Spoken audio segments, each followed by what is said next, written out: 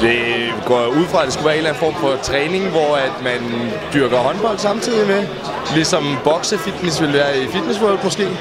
Hvor man dyrker den form for træning, som man normalt vil gøre som håndboldhold, men uden måske at spille så meget håndbold reelt set. En kombination af håndbold og fitness kunne jeg umiddelbart forestille mig.